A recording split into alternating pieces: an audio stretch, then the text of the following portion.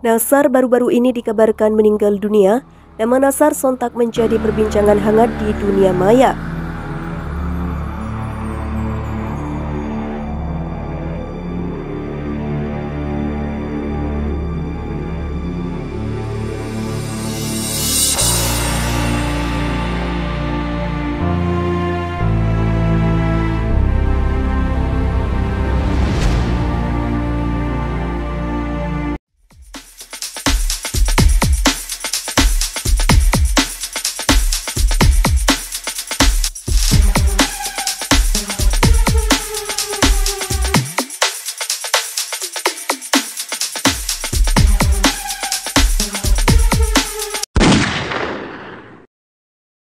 Mantan suami Musdalifah ini bahkan menjadi trending di situs pencarian Google. Pedangdut Nasar belum lama ini dilarikan ke rumah sakit. Kondisi Nasar yang tampak semakin kurus pun membuat fans merasa khawatir. Tidak hanya itu, Nasar baru-baru ini juga dikabarkan meninggal dunia. Nama Nasar sontak menjadi perbincangan hangat di dunia maya. Mantan suami Musdalifah ini bahkan menjadi trending di situs pencarian Google. Seolah tak ingin membuat fans khawatir, Nasar akhirnya mengungkap kondisinya. Lewat beberapa unggah di Instagram miliknya, terungkap bahwa hingga kini ia masih menjalani perawatan. Di salah satu video unggahnya, Nasar terlihat sayu saat dijenguk oleh Ruben Onsu dan Anwar Sanjaya.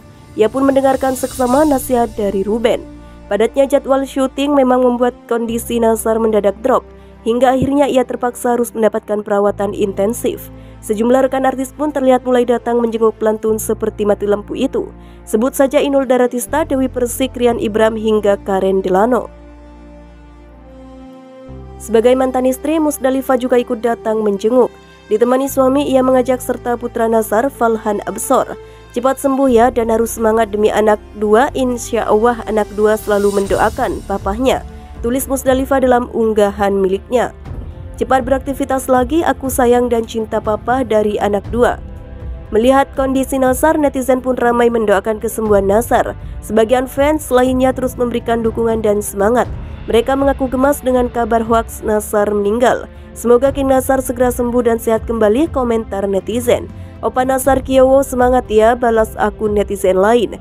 Cepat sehat King, at King Nasar 88 cepat menghibur lagi. Berasa ada yang kurang gitu, PPA tanpa Opa Nasar. Sahut akun netizen. Alhamdulillah sehat-sehat aja ya Allah Serem banget di berita ada bilang King Nasar meninggal dunia Astagfirullah yang buat berita timpal akun netizen Buat ungkap akun netizen Bener shock semua di rumah cepet sehat ya orang baik. At King Nasar 88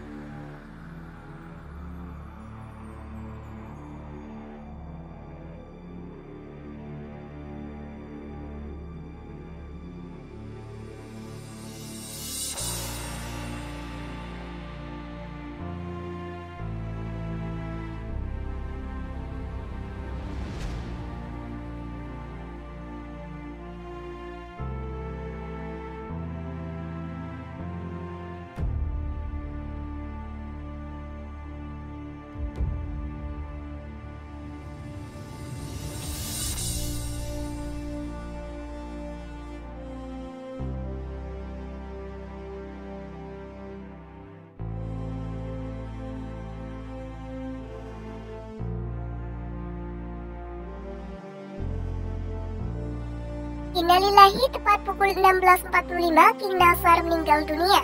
Isak tangis sahabat artis makin histeris. Penyanyi dangdut Nasar Fahad Ahmad Sungkar alias King Nasar belakangan ini menyedot perhatian publik pasalnya kondisi kesehatan King Nasar baru-baru ini dikabarkan melemah. Bahkan King Nasar sampai harus dilarikan ke rumah sakit dengan tangannya yang diinfus serta bagian hidung yang terpasang oksigen. Di tengah kondisi tersebut kali ini justru beredar kabar jika Nasar telah meninggal dunia pada pukul 16.45. Kepergiannya itu disebut membuat isak tangis dari sahabat artis makin histeris. Hal itu disebarkan melalui salah satu video di kanal YouTube Anak Lorong yang diunggah pada hari Selasa. Innalillahi tepat pukul 16.45 Nasar meninggal dunia, isak tangis sahabat artis makin histeris. Begitu bunyi narasi yang ditulis pengunggah pada judul video. Seakan meyakinkan thumbnail video juga menampilkan foto King Nasar yang telah dibingkai.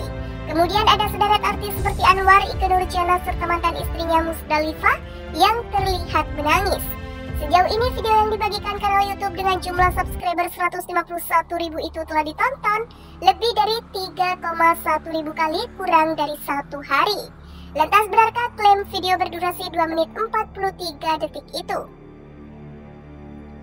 Setelah disaksikan secara utuh, ternyata video tersebut tidak menyajikan informasi yang sesuai dengan judul dan thumbnail yang disajikan. Pada awal tayangan, video tersebut menampilkan suasana para pelayat yang memenuhi pemakaman. Lalu transisi berpindah memperlihatkan potret sederet artis seperti Krisdayanti, Ayu Ting Ting, Ruben Onsu hingga Maya Estianti yang mengenakan pakaian serba hitam khas pelayat.